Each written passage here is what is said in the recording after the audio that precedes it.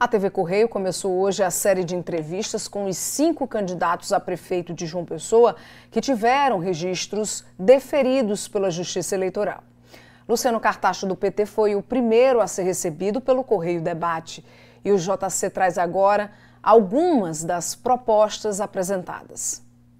Fazer mais uma UPA no área importante da nossa cidade, que é o bairro do Gás Vou fazer também uma UPA no bairro das Indústrias. Vou fazer um novo hospital geral de urgência e emergência para desafogar o trauminha e vou fazer lá no Colina do Sul. Eu vou abrir, reabrir o terminal de integração no Varador. O terminal permitia que o cidadão pegasse dois ônibus pagando uma única passagem. Ou seja, isso afeta, isso melhora o orçamento é, doméstico. Né? Porque as pessoas passam a gastar menos com o transporte coletivo. Eu vou revitalizar novamente o Parque da Lagoa eu vou trazer investimento também na educação. Eu vou fazer mais 10 creches na cidade de uma pessoa. Eu fiz a maior rede de creches na nossa cidade.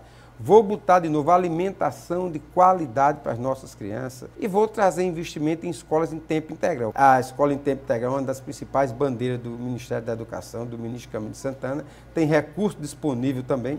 Nós vamos trabalhar dentro dessa linha. Aonde tiver casarões em ruínas, prédios abandonados, nós vamos fazer moradia, levar gente para morar, para viver no centro histórico, para aquecer a economia da nossa cidade. Então, nós vamos também fazer um projeto importante na área da, da, da educação, que é o Centro de Educação Integrado em cinco bairros de João Pessoa, para gerar educação de qualidade, em turno integral, né, com acesso ao esporte, à cultura, ao lazer. Então, são ações como essa que nós vamos fazer na cidade, mostrando que a gente já fez, que sei fazer e vou fazer mais e melhor.